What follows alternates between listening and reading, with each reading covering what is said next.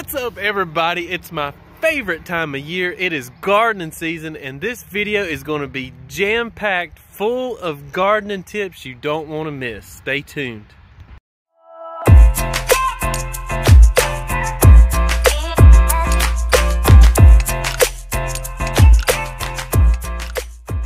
So I've spent the last couple of days cleaning up these beds behind me, pulling weeds, putting a fresh load of pine needles around the beds. That way I don't have to worry about weeds. I like that nice clean look it gives you. And it's easier to put out than mulch. I think we've had our last frost here in North Carolina, so I'm gonna be planting my warm season veggies like your tomatoes, cucumbers, peppers, and while I do that, I'm gonna show you what soil amendments I'm gonna be putting back into these beds so that the plants will have fresh nutrients. Hey, before I do that, and if you haven't already, go ahead and hit the subscribe button and notification bell so you can get updates every time we release a single video. We're gonna be giving out lots of gardening tips this season, not just vegetables, flowers and shrubs too, and you need to subscribe so you don't miss it. Before we get started planting, I want to go over my raised beds. There's five of them here, and a lot of you ask what does the beds have in them, and they're actually like 50% topsoil on the bottom half, and the top half is mushroom compost. Now, like I said in the beginning of the video, I am going to be adding some nutrients and fresh uh, compost to the beds, but these are already chock full of nutrients. I mean, you can just see um, how uh, dark the soil is, how loamy. This is really, really good stuff. I love mushroom compost for gardening. Now I have four beds that are eight feet by four feet and the one in the back is actually 12 feet by four feet. I went a little overboard with the height. You don't actually need to build beds at home this tall, but I don't like to bend over to pick weeds. And this is just pressure treated decking board. Yes, it's pressure treated. They don't treat with arsenic anymore. They actually treat with copper. So this is safe to garden in. All right, before I start planting, let's actually talk about the compost I'm going to be using. There are so many options out there that work great. At your local garden center, I'm sure you can find chicken manure compost, cow manure compost, mushroom compost. In one of my videos, I used Happy Frog potting soil, which worked great. I love it. It's got worm castings, bat castings, some really good ingredients. But for this particular video, I'm going to be trying something new this year.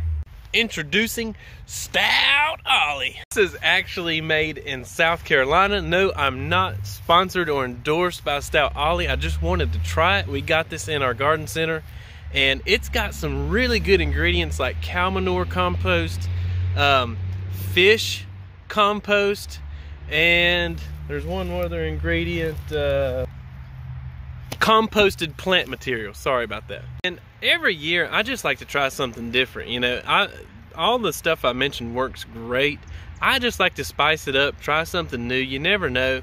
And I always love putting fresh nutrients in my beds because after a season of growing, those plants kind of suck up all the nutrients and you want to make sure you put fresh nutrients in every season. All right, so first we're gonna be planting our cucumbers. This is the 12 foot bed I had in the back and we've got chicken wire running along the back of it. That way we don't have to stake our cucumbers. We can just kind of tie them up as they grow to the chicken wire. So I'm gonna mostly be planting pickling cucumbers. My wife and I enjoy the small pickling type. So I've got pick a bushel that grow to five to six inches or three to six inches. I've also got homemade pickles and also Sweet Success and Burpless 26, which are both burpless cucumbers and they grow long and slender. So I'm going to be putting a handful of Stout Ollie in each hole and I'm going to be planting these about six inches apart. Let's get after it.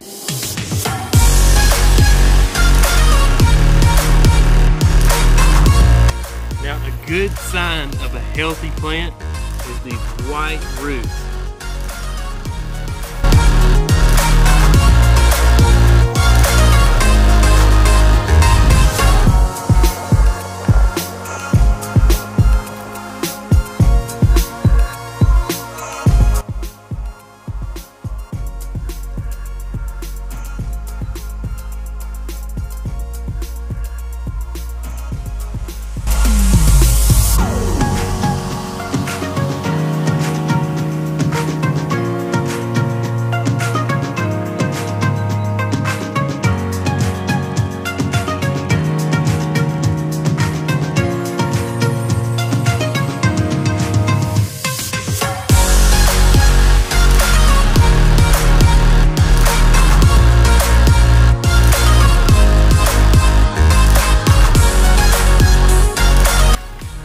I love having these raised beds so I don't have to rototill.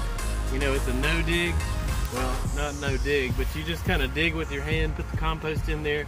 Makes it super easy. And I've got all this space in the front to grow something else, like tomatoes or peppers. You just gotta stay tuned and find out. Okay, so this video is actually taking a little bit longer than I thought, and I don't want a big, huge, long video.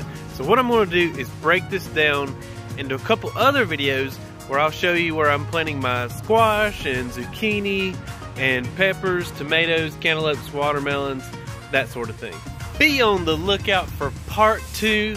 I will see you soon.